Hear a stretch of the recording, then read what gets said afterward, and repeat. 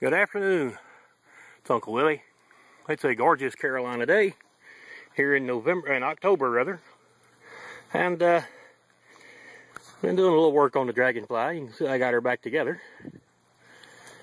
And I got the headlights installed. That blue thing right there is just to hold the wires up temporarily until I figure out a better way to keep them out of the hinge. But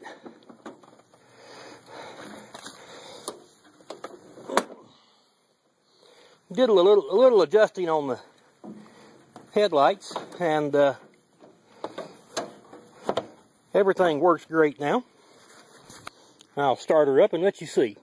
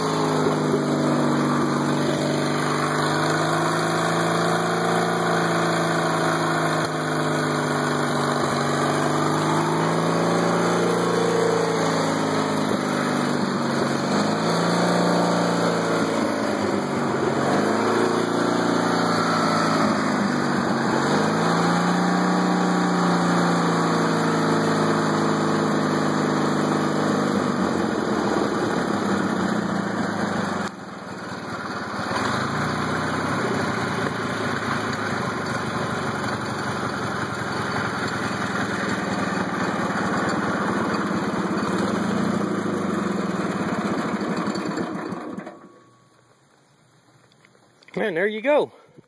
It uh, runs really good, purrs like a kitten, and I can see where I'm going. I did find out that the uh, safety switch on the clutch is disconnected because I started it up in gear and ran over my foot this morning.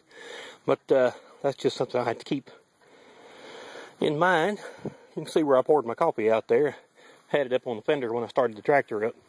But there she is in all of her green and gray glory. I've got to get a seat put on it. And I'm going to find a way to attach those case tractor weights that I've got to this. Uh, I've got an idea. I've been playing with another wheel, but it doesn't have holes for the weights. So uh, we'll uh, make a video of that when we get to it. But right now, the old Dragonfly runs. I still got some more painting to do. It's not 100% yet. But uh, at least now it's all, it's not 97 different shades of gray and silver. You can see it's dirty. The cat's been sleeping on it. But uh, there she is. She's all ready to uh, pull whatever I want her to pull. And uh, these tiller tires that I put on the front of it here make a huge difference in the way this thing steers. Before you turn the wheel and it would go straight. Now you turn the wheel, it actually turns. So uh, that's a huge improvement. But there she is. And uh, I'm going to get some more work done. I'm gone.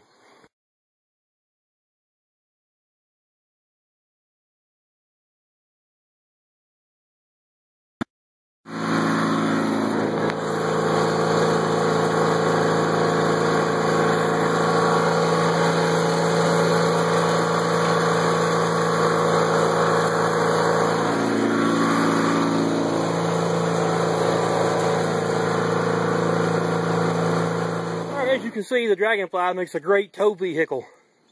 This thing wouldn't budge at all because the front end was stuck in the ground. So I uh, chained her up, lifted up on the sleeve hitch, and it came with me.